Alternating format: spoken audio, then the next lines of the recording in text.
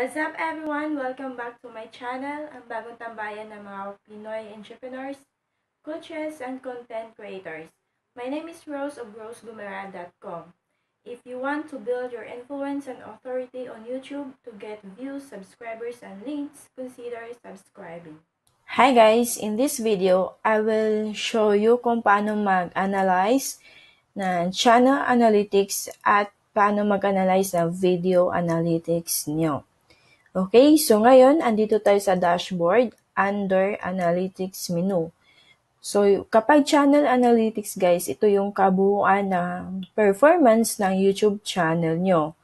But as of now, hindi muna natin siya tatalakayin because I know this is um, very overwhelming when it comes to analytics.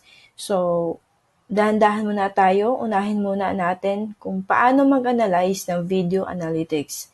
To do that guys, punta kayo sa videos.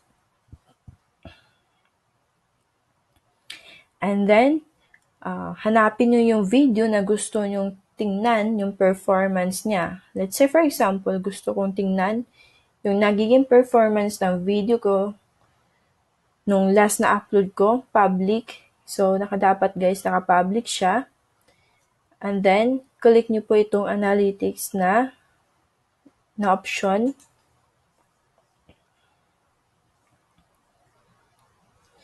So, dito makikita nyo na po yung nagiging performance ng video nyo.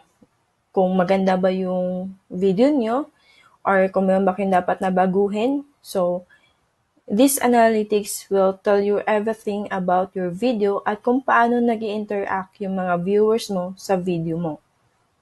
Okay, unahin natin yung overview. So, overview, dito yung makikita ang lahat ng parang nag, parang ano na siya, summary. Okay?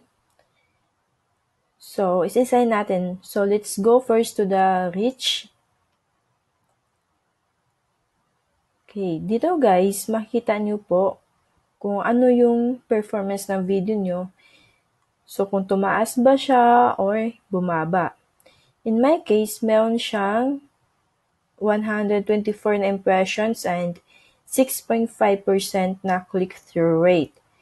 So, dito guys, makikita nyo, ito yung impressions and how they led to watch time. So, ito yung analytics case na dapat nyong titingnan ng maigi. Kasi dito nyo malalaman kung maganda yung performance ng video na ginawa nyo. Let's say for example, in this video, meron akong 13.9% from YouTube recommending my content. So, ano meaning nito? Ito guys, makikita nyo kung saan ni-recommend ni YouTube yung content, itong content na to. So, mostly, YouTube recommended it in the homepage. That is 9.3% and recommended on watch page, which is 4.6%. So, doon nanggagaling yung mga impressions. So, sa impressions guys, um, dapat titingnan nyo din dito kung saan nagagaling yung traffic niya. Galing ba siya sa channel pages, sa YouTube search, external, notifications, or playlist page. After that, yung mga video nyo na naka-embed sa website or sa email nyo is hindi siya kasali sa impressions.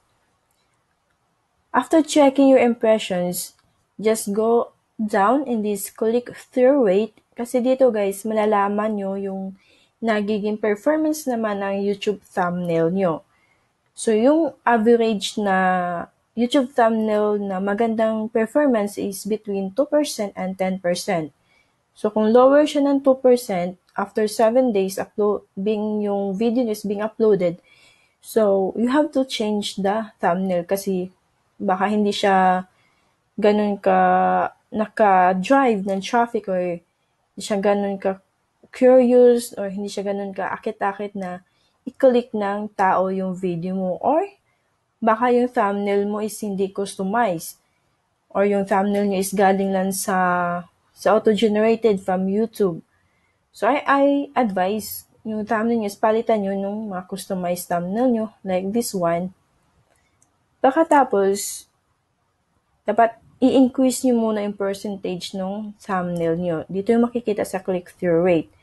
After that, kung meron ng mga tao na nagkiklik dun sa video nyo dahil maganda na yung thumbnail nyo, so dito yung makikita yung views, kung ilang views yung nanggagaling sa impressions. After nung views, after that person click your video, so dito yung masusukat yung watch time from impressions or the average view duration makikita nyo dito kung ilang minutes nagtatagal yung tao sa video mo. So, in my case, sa average view duration ko is nasa mga 2 minutes and 47 seconds yung mga viewers ko nag-spend sa video na to. Okay? After that, analyzing guys, go ahead and engagement. Sa engagement, dito nyo makikita yung um, dito yung malalaman kung paano nag interact yung viewers nyo sa video nyo. Okay?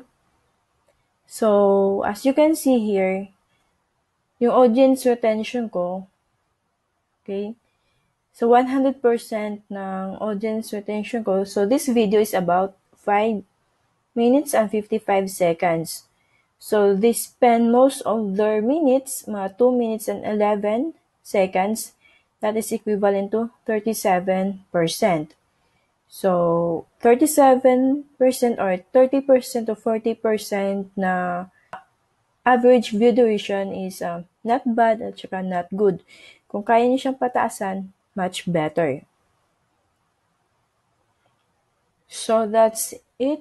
Ganun po mag-analyze ng performance ng video nyo guys. Tingnan nyo na po muna dun sa video muna. Focus muna kayo sa video nyo. Focus for your SEO and then the thumbnail and then yung audience retention dun sa video na yon Okay? So, let me know if you would like to learn more. Kung gusto niyo pa ng mga videos about YouTube Analytics, just comment down below and see you in my next video.